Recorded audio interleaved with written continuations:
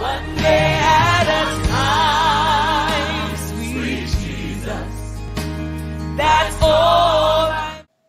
malam Bapak Ibu Saudara yang saya kasih dalam nama Tuhan Yesus. Malam hari ini kita kembali merenungkan kebenaran firman Tuhan.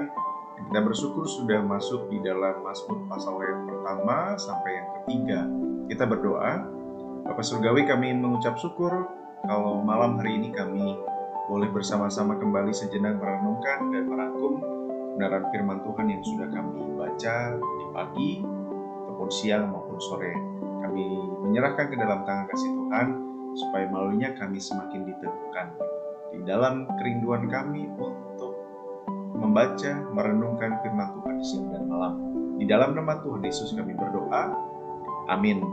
Jemaat Tuhan, beberapa waktu yang lalu juga saya pernah menyampaikan dari Mazmur nomor satu ini dengan sebuah tema bahwa orang yang berbahagia adalah orang yang sungguh-sungguh karena kebenaran firman Tuhan hidup di dalamnya.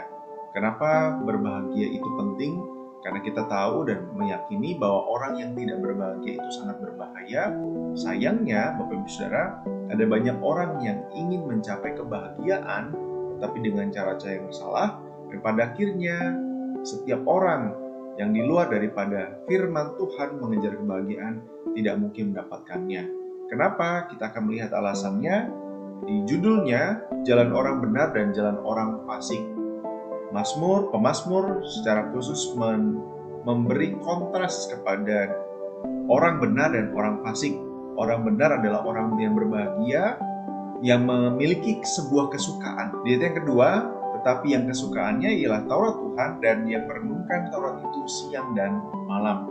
Mengapa mencintai kebenaran firman Tuhan, merenungkan siang dan malam menjadi sebuah kebahagiaan? Karena hanya di dalam kebenaran firman Tuhanlah kita bisa bertumbuh dan berbuah.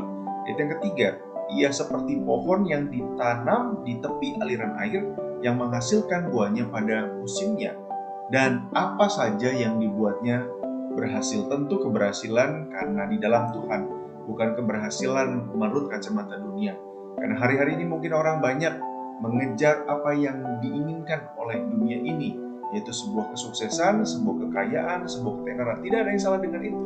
Tetapi ketika itu menjadi tujuan sebuah kebahagiaan, pertanyaannya adalah ketika seseorang mencapai semua itu, bergelimang harta, terkenal, memiliki segala sesuatunya, lalu mau apa?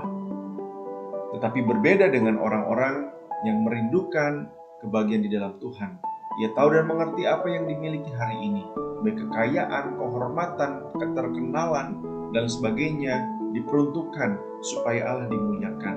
Itu menjadi sebuah kebahagiaan tersendiri karena hidupnya berbuah seperti yang Tuhan mau.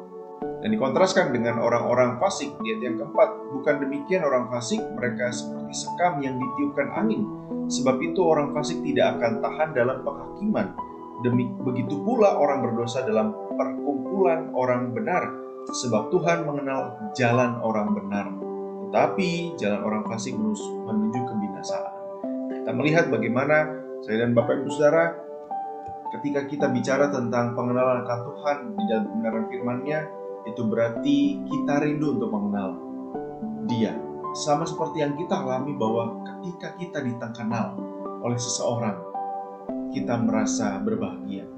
Bisa bayangkan Bapak Ibu Saudara, kalau Bapak Ibu Saudara masuk ke dalam sebuah gereja yang sangat besar, mungkin memiliki keanggotaan 300 ribu orang. Bapak Ibu Saudara akan mengalami kesulitan untuk mengenal orang lain dan dikenal dengan jelas. Tetapi ketika Bapak Ibu Saudara masuk ke dalam sebuah gereja yang kecil secara jumlahnya 10 orang misalnya saja, Bapak Ibu Saudara akan sangat baik mengenal orang-orang itu dan Bapak Ibu Saudara akan dikenal. Mungkin 300 ribu orang kita bisa mengenal, tapi dengan jangka waktu cukup lama. Tapi dengan 10 orang kita bisa mengenal dengan baik. Lebih daripada itu, Allah mengenal pribadi lepas pribadi. Satu orang demi satu orang dikenal Allah. Sesuatu yang luar biasa. Itu berarti Bapak Ibu Saudara, ia mengenal kita. Ia menyebut nama kita, mengetahui jalan-jalan yang harus kita tempuh dan menyediakannya bagi kita. Dan di dalam sepanjang kehidupan Daud, kita bisa melihat di pasal 2, di pasal 3, sampai seterusnya, bagaimana Daud menuangkan nyanyian, pujian, sukacita, bahkan hal-hal yang sudah dialami dalam sepanjang kehidupan Daud, bagaimana penyertaan Allah, pengenalan akan Allah dalam kehidupan Daud. Dan kita akan bisa melihatnya dan mendengarnya di dalam khotbah di hari Minggu yang akan datang bagaimana Allah mengenal Daud dengan sangat luar biasa. Karena itu Bapak Ibu Saudara, mari kita belajar mengenal Allah melalui kebenaran firman Tuhan yang kita renungkan siang dan malam sebagai sebuah bentuk kerinduan kita dan di situlah Tuhan memberikan kita kebahagiaan yang sejati. Kalau hari-hari ini kita stres, kita mengalami depresi bahkan dengan hal-hal yang kita kejar yang pada dasarnya tidak mampu untuk membuat kita bahagia. Kembali kepada kebenaran firman Tuhan. Tuhan meneguhkan kita semua supaya kita sungguh-sungguh mengenal Allah sebagai sebuah proses dan puncak kebahagiaan yang sejati. Amin kita berdoa. Bapak Surgawi, terima kasih karena Engkau menjanjikan, mengaruniakan, menganugerahkan kepada kami untuk kami bisa mengenal Engkau lebih dalam lagi. Terima kasih karena Engkau berinisiatif untuk turun ke muka bumi ini, mengenalkan dirimu kepada kami melalui alam semesta dan secara khusus dan khas di dalam firman Allah yang hidup Yesus Kristus. Karena kami bersyukur karena kami memiliki akses untuk itu, untuk mengenal Allah dengan baik. Terima kasih Tuhan untuk roh kudusmu yang memberkati kami di dalam hidup kami, sehingga dengan roh itu kami semakin dibawa untuk mengerti kehendakmu dalam kehidupan kami. Di dalam nama Tuhan Yesus, berkati setiap jemaat Tuhan. Biarlah kebahagiaan yang sejati hanya yang kami dapat di dalam Tuhan Yesus sendiri. Amin.